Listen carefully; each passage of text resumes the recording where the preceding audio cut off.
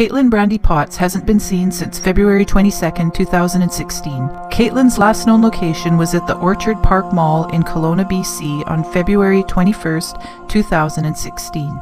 There is another alleged sighting in a small town of Enderby, British Columbia, northeast of Kelowna. Caitlin Potts is 27 years old. She is part of the Samson Creek First Nations. Caitlin has black hair with blonde streaks. She stands at 5'3 inches tall and weighs 150 pounds. Caitlin does not have any noticeable tattoos. Her eyes are brown and she has a pleasant face and personality. If you have any information that can help in the search for Caitlin, please contact the Vernon North Okanagan RCMP at 250-545-7171 or Crime Stoppers at 1-800-222-8 8477. You can also contact the Southeast Major Crime Unit Information Line at 1 877 987 8477. Caitlin Potts, described by her sister as being bubbly and outgoing and someone that would light up a room. Caitlin had a way of setting people at ease and making them feel important, and as a result, she had a thriving social life. She was very close to her family and would participate in activities with her loved ones, like family gatherings and church visits. Caitlin had a young son that she was very proud of and he was the light of her life.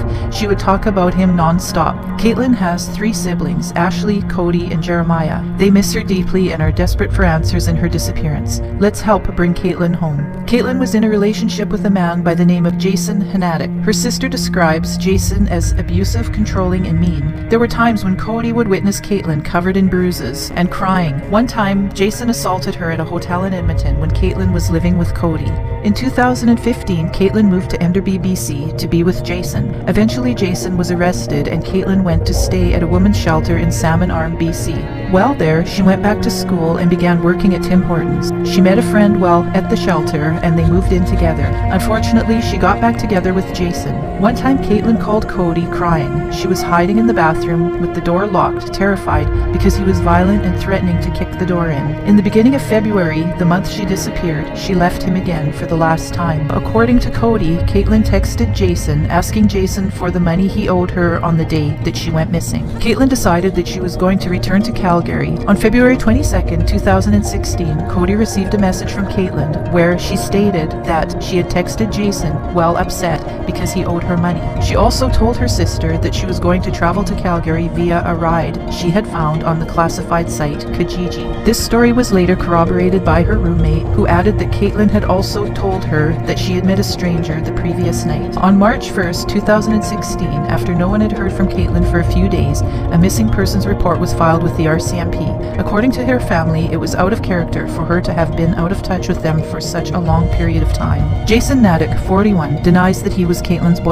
According to the information supplied by the RCMP, Hanadik was charged with assault with a weapon, breaching a no-contact order, uttering threats, and depriving a person of their property in relation to an August 24, 2014 domestic assault, which happened at roughly 2 a.m. on Wayne Gretzky Drive in front of the Forum Hotel in Edmonton. The victim was Caitlin Potts. On May 16th, Hanadik was convicted of assault with a weapon and breaching his no-contact order with Potts. He was found not guilty of the other charges. Caitlin's mother, Priscilla, was present at the court trial and watched the video footage of the assault, and she stated that it was very disturbing and that it moved her to tears. Quote, I can't believe that she went through that much physical abuse, unquote. Corporal Dan Moskaluk with the Southeast District RCMP would not say if Jason was a suspect in Caitlin's disappearance. In a phone call to Info News, Jason said that he was never Caitlin's boyfriend, although at different points in the conversation called her a friend, and said that they had been intimate. He also stated that she was in the escort business. He also disputed that she was living with him, although she did stay with him for a time. According to Hanadik, Caitlin was assaulted by a relative and was having family problems when she left Alberta and came out to BC to be with him. He says that she asked if she could stay with him and he told her no. He said that in November 2015, after telling her that she couldn't stay with him, Caitlin called 911 to get even. He says that he didn't hurt her, but was arrested due to the conditions that he was not to be spending any time with her, and he spent a few days in jail. After that, he says Caitlin went to stay at a woman's shelter in Salmon Arm and later lived with a roommate. When asked about the last time he saw her, he says he can't remember. In the phone call, Hanadik said that he had been questioned by the police several times, pointed out that he is not facing any charges and has been cast in an unfair light. Caitlin was reported missing to the Royal Canadian Mounted Police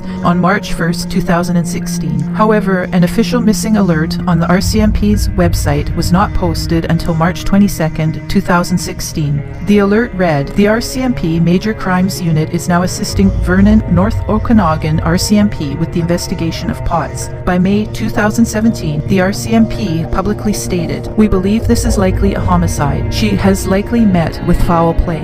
Although it may be possible that Caitlin was murdered on the way to Calgary by the person who posted the Kijiji ad, the police have stated that they have zero evidence that Caitlin traveled to Calgary. They believe that she likely never left the North Okanagan. This may point to her disappearance being linked to someone she may have personally knew. Christine with the True Crime Files was left to speculate that perhaps whoever is responsible for the disappearance of Caitlin used her phone to contact her friends and family to mislead the police. The person would have known who to contact.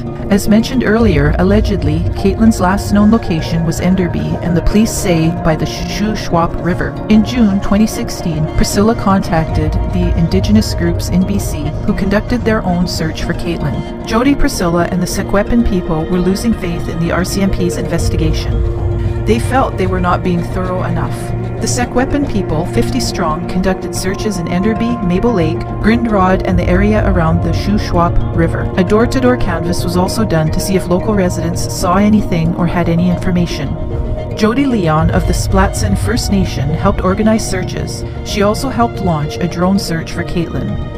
In April 2017, the RCMP released footage of Caitlin entering the Orchard Place Mall in Kelowna, BC at around 1.30 p.m. on February 21, 2016. In the footage, she is seen wearing a three-quarter length black jacket with a hood, light-colored pants, black winter boots, and a hair tie, carrying a white cell phone and a light brown leather handbag. During this time, they also stated that they now suspected foul play.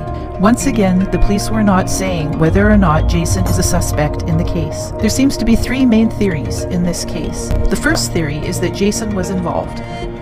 Given the pair's history, including his abusive behavior, the assault conviction, and the speculation that he owed her money, however, the police have not released any evidence of this. Second theory is that she may have met with foul play by the stranger that supposedly was giving her a ride to Calgary. Both Cody and her roommate received messages from Caitlin stating that she was meeting a person on Kijiji. Third theory is that she was a victim of a serial killer. Three other women, Ashley Simpson, Nicole Bell, Deanna Bell, have gone missing around the same area and time. Once again, if anyone has any information that can lead to the solving of this case, please contact the Vernon RCMP at 250-545-7171 or Crime Stoppers at 1-888-222-8477.